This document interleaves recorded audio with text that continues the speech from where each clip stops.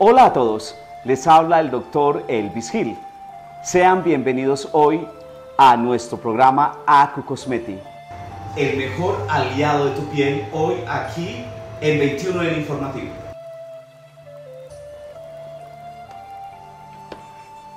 Hoy hablaremos de la relación entre medicina tradicional china y medicina convencional. La medicina tradicional china tiene un enfoque completamente preventivo en enfermedades crónicas y en el manejo del dolor neuromuscular, en tanto que la medicina occidental intenta hallar la causa de la enfermedad a través de signos y a través de síntomas para poder intervenirla. Es muy importante anotar que los principios de la medicina tradicional china están basados en más de 3.000 años, donde su principal objetivo es recuperar el equilibrio y la armonía en dos conceptos fundamentales como es el concepto del yin y es el concepto del yang. Cabe anotar que básicamente lo que buscamos es el desequilibrio y la desarmonización de ambas.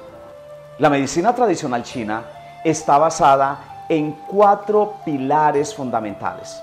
No son más que la fitoterapia, que es el estudio de las plantas, la acupuntura, que es la administración de agujas en el tejido cutáneo.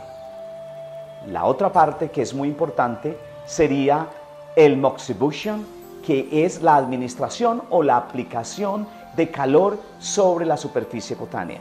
Y finalmente, tuina, que simplemente es un masaje de drenaje linfático que busca básicamente desintoxicar el organismo y darle respuesta de esta manera a las diferentes patologías existentes en el organismo. Quiero contarles que Akio Cosmeti relaciona e integra los dos conceptos de la medicina tradicional china y la medicina occidental a través de múltiples servicios tales como rejuvenecimiento facial por medio de la aplicación de botos, fillers, ácidos hialurónicos, plasma rico en plaquetas, como también el manejo del dolor crónico a través de la acupuntura.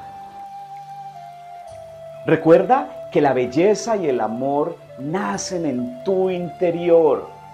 Cuida tu piel aquí en Acu Cosmetic. Mi secreto es prevención y constancia.